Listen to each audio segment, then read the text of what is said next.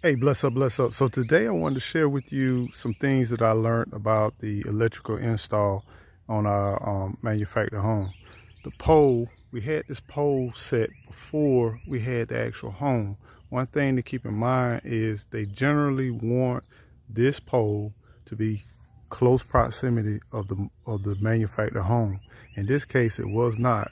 And so therefore, 35 feet or more, they have to install a panel box. So this one right here has a breaker in it.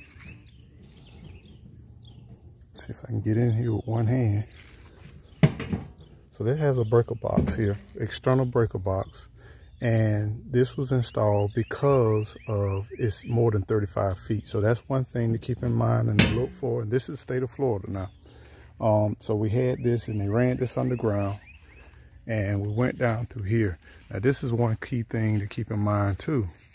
Um, our permit was not approved because of a couple of things.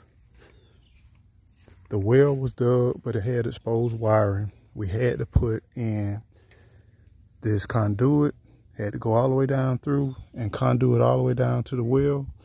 This junction box, I had a, a elbow that didn't work, so we had to install this instead and come directly in here. No um, exposed wiring. And then this particular thing right here, I put in the description, but this is a HP D50. It's a surge protector device. This surge protector device is something that was new as of January 2024.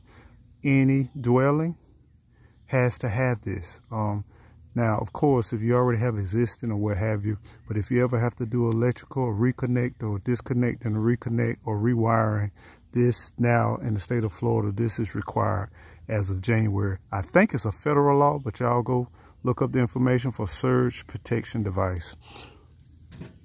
And as we take a look in here,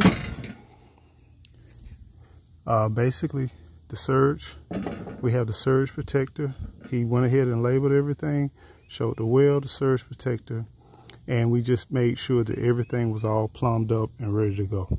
So those are some things you want to keep in, in mind. Look for some of those things. Um, maybe even question or ask if you don't see these things um, with your new installation on your new manufactured home. Um, these are things that made us where we either pass or fail and now we should definitely be in compliance. So I look forward to getting this approval.